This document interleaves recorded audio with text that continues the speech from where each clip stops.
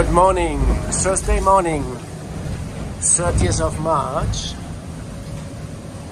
Look at this sunrise.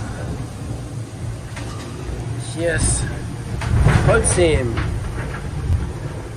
And we are trying to defend them. Also see them on this AIS here. Let's have a look outside.